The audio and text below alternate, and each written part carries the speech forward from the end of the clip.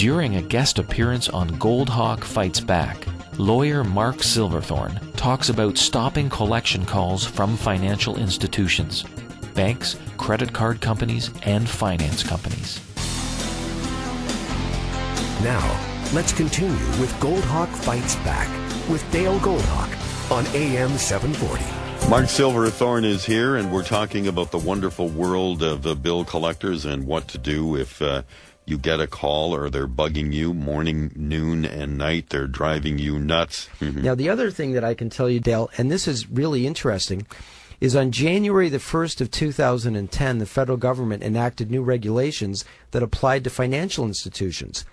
And what it means is if I can send out a cease and desist letter on behalf of anyone who's receiving collection calls from a bank, and mm-hmm. it doesn't doesn't have to go to a collection agency. It, you could you could have a visa, and it could be 30 days in default. And under these new regulations, so if there's anybody out there who's getting collection calls from a financial institution for tomorrow only, for I guess what tomorrow is Wednesday, January. Wednesday, the, January the 11th. Wednesday, January the 11th. If you call my office between 9 and 5 p.m., for the first 500 people, you'll get a free cease and desist letter as long as you mention Dale Goldhawk.